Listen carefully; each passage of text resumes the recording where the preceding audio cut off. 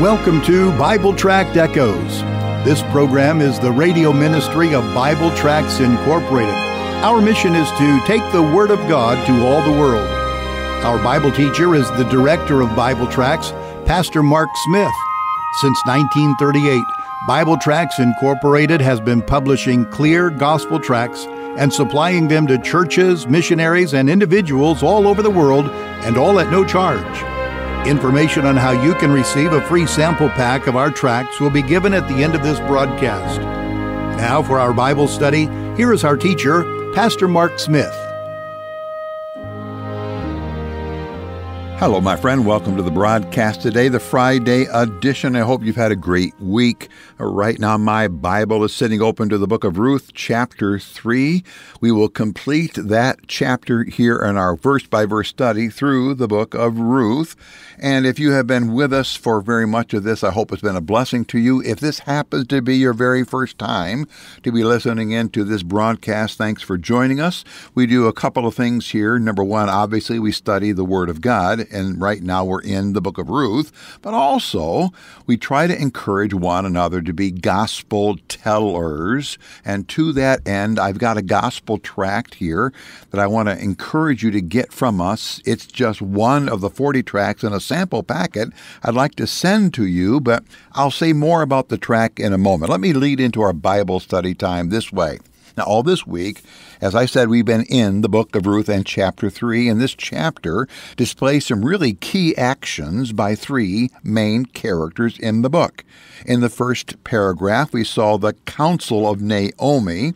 In the middle paragraph, we saw the character of Ruth, and today, in the final paragraph of chapter 3, we're going to see the confidence in Boaz. The confidence in Boaz. Now, when I say confidence in Boaz, that really could be understood two ways. Either Boaz had internal confidence in himself, or other people had confidence in him. Now, what we're going to see today is how others had confidence in this man, Boaz. He was a man you could depend on. And my real goal today is to get to quickly about Boaz, but so that we can talk about how he is a picture of Christ and how that we can have confidence in Christ, we can trust in Him. Please have pen and paper ready today to jot down some key New Testament references that help us to see how Boaz is a type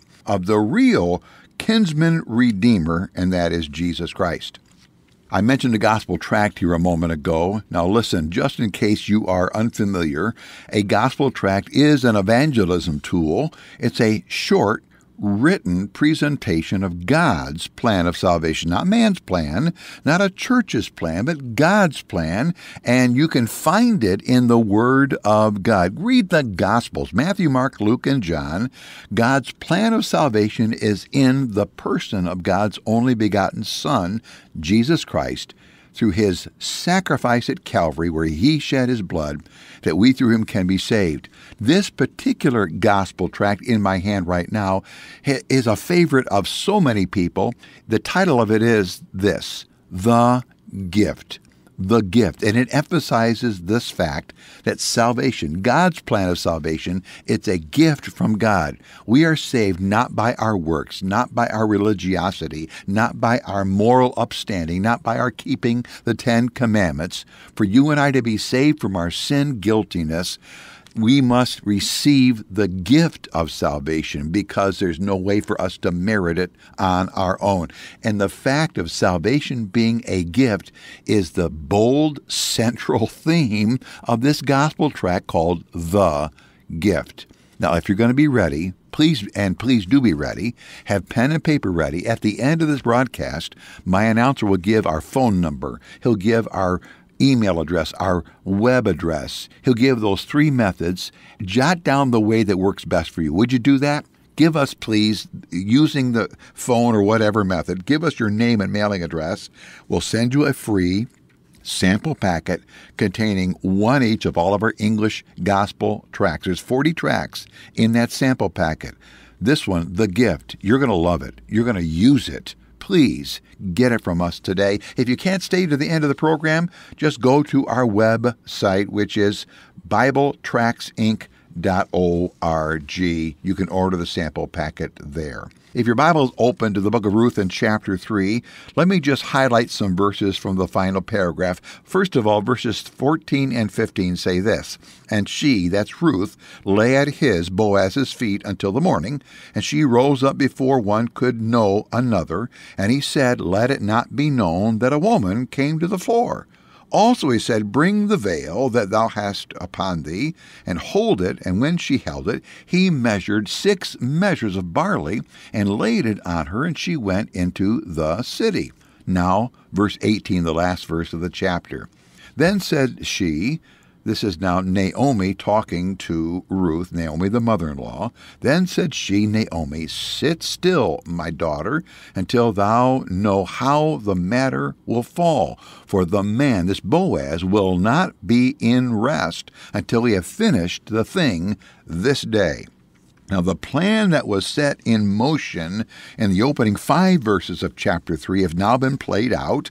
Naomi, the wise, godly mother in law, has recognized the hand of God at work on behalf of she and Ruth. Boaz, the godly man, he has shown his romantic interest in Ruth, and now a plan is made known for for Ruth to accept his offer. That's the middle section of this chapter. Ruth goes to Boaz in secret there in verses 6 to 13. He responds by telling Ruth that he's going to do, he will do the role of not just marrying her, but also buying her and being her kinsman redeemer. My outline title for verses 14 to 18 is the word confidence, as I said. Three facts about Boaz are seen here that give strong reasons for Ruth and Naomi to have confidence in this man's words and his actions. First of all, Boaz's moral character gave them confidence based upon verse 14. Scripture here is so very clear that there was nothing shady, nothing unbecoming that went on between Ruth and Boaz at this night meeting here. The second thing was Boaz's measured care. In verse 15, Boaz there measures out six measures of grain he specifically says to Ruth that she is not to return to Naomi empty handed. This grain really acted as a down payment, as an earnest money payment that he would do the role of a kinsman redeemer. And the third quality here for Boaz is his willingness, is well, is let me use my M word here, Boaz's meaning to complete, his meaning to complete the task. This all comes from verses 16, 17, and 18 when Ruth comes home and tells Naomi all that has transpired, plus Naomi sees this down payment of grain, Naomi knows that Boaz, he will absolutely complete his commitment, and he will do it that very day. Through our time in the book of Ruth, I have said on a few occasions that Boaz is a picture of Jesus.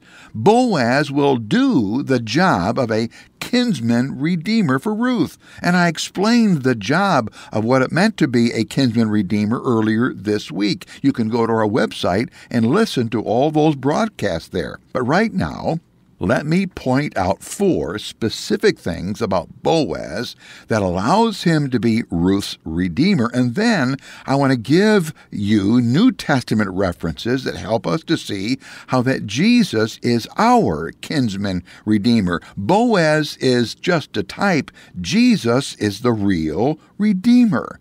Number one, Boaz had to be a blood relative to Ruth's family for him to be the Redeemer. He had to be part of the family, a blood family tie. Well, this point is what I emphasized already this week. I used the verses out of Hebrews chapter 2, verses 14 to 17. I read them on air, jotted down, read them again. Hebrews 2, 14 to 17. When we read them, we told there that Jesus took on flesh. He didn't take on the, the form of an angel, he took on flesh, human flesh, to be part of the human family so that he could redeem human sinners from our condemnation.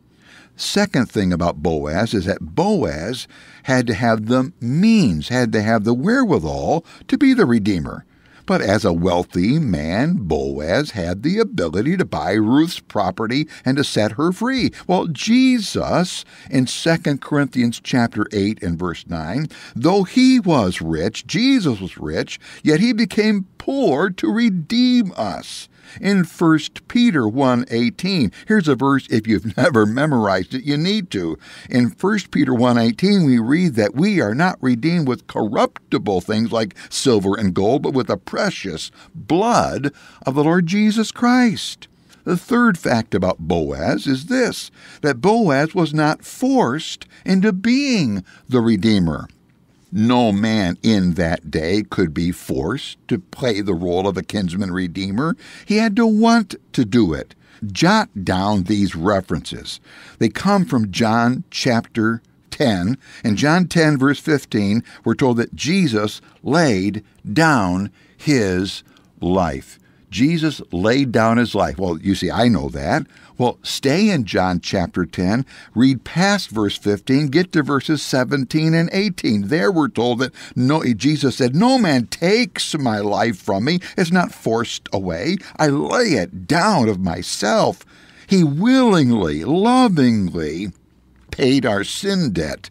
Romans 5 8. But God commended his love towards us, and that while we were yet sinners, Christ died for us. Jesus came to be our Savior, our Redeemer, out of a loving, willing heart. The fourth fact about Boaz is this Boaz had to be willing to marry Ruth, this non Jewish Moabite woman, this woman with a stigma on her because she was a Moabitess. He had to be willing to marry her. We're going to see more about this whole issue when we get over into chapter 4. But when Boaz would redeem Ruth, yes, he would receive land and he would be controller of the family's land, but he had to take Ruth to be his wife. He wanted her, though. We've already seen he wanted her. He made the overtures to say, I'm interested in you. I want you. Well, if we turn to Ephesians chapter 5, in the second half of that chapter, there we're going to find instructions that are given to husbands and wives. The model for the husband in a family relationship is Jesus, and the model for wives is the church. Husbands are told to love their wives as Christ loved the church. Christ wanted us. We were in our sin stained, willful, rebel condition uh, on our own stinking selves. But He wanted us while we were yet in our sin guiltiness. Jesus said, I will clean them. I will make them fit to be my bride. I will do the work. I will provide the wedding garments. I will pay the entire wedding bill. Why? I love them. I love them. Oh, dear friend, God loves you. God loves you to the point he sent his only begotten Son, the eternal God took on flesh and died in your place that you through his sin payment can be redeemed out of your sin debt. Receive him as your Savior now. Thank you for joining us today for Bible Tract Echoes. If you would like to receive a free sample packet of our tracts, you can contact us by calling 309 828 6888. Our mailing address is Bible Tracts, P.O. Box 188, Bloomington, Illinois 61702. Again, our phone number is 309 828 6888, and our mailing address is P.O. Box 188, Bloomington, Illinois 61702. You can also contact us through our website our web address is BibleTractsinc.org. Remember, the word tracts is spelled T R A C T S. That address is BibleTractsinc.org. May the Lord richly bless you as you serve Him.